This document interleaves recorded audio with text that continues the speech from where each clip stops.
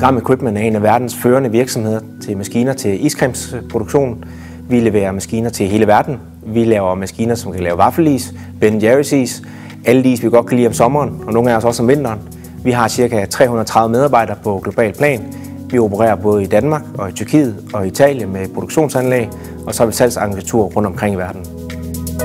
Tilbage i 2015 der opkøbte Gram Equipment VCB, og i den øh, tid der fik vi skiftet vores ERP-system. Det, der var problemet, det var, at vi fik ikke rigtig kigget på det værktøj, som ingeniørerne brugte, og det var Inventor og også MDoc i det her tilfælde.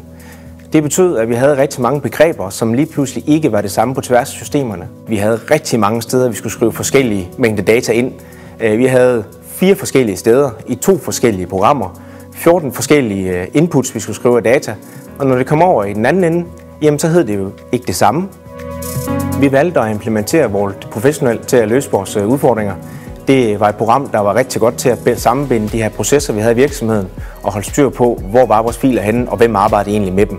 Vi havde folk i Tyrkiet, som ikke kunne tilgå vores data, for de arbejdede jo på diagram equipment systemer. Hvis de åbnede en kompliceret maskintegning, så var det faktisk godt tage op til en halv time for dem at åbne det. Efter vi fik vores professionel, så var vi nede på 5 sekunder.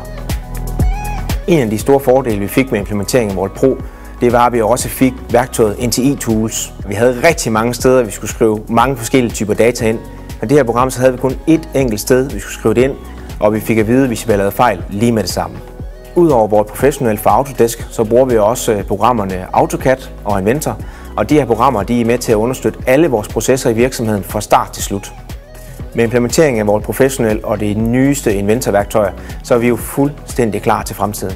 Vi har alt grundlag, det er fuldstændig optimeret til vores virksomhed, og det betyder også, at fremtidige Autodesk-produkter og i samarbejde med NTI, der kan vi få implementeret nye systemer og nye programmer, som endnu en gang kan løfte os til nye højder.